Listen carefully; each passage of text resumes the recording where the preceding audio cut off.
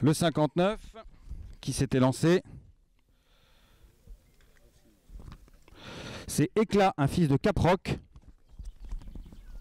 appartenant au rat des Brooks. La mère est pas Roman Saddle, c'est la famille de Jack Didi. La mère a gagné en plat. Et elle présente ici son troisième produit, sachant que la première pouliche est une fille de Balco, enfin la pouliche précédente, Coco la Chance, une fille de Balco, donc ça peut aller en obstacle bien sûr.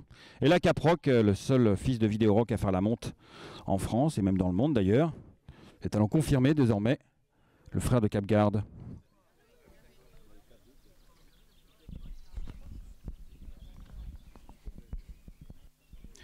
Voilà, cette pouliche Alzan, Alzane née le 8 mai, qui est bien posée, qui s'étend ici. C'est le numéro 59.